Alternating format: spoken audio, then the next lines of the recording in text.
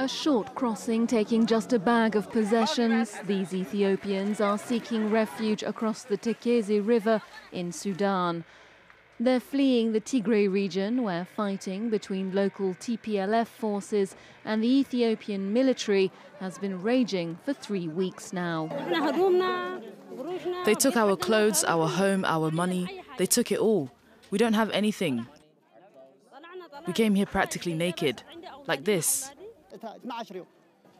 It took 12 days to get here. We lived in a forest for a while. But now we have reached Sudan.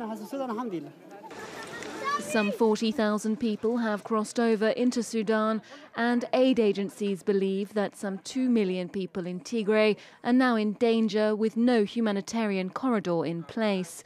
Civilians then are in the firing line since the government gave a three day warning for a military assault on the region, in which they said, quote, anything could happen, prompting the UN High Commissioner for Human Rights to call for restraint. High Commissioner expresses alarm at reports of a heavy buildup of tanks and artillery around Mekelle, which is the capital city of Tigray province, following the government's issuance of a 72 hour ultimatum.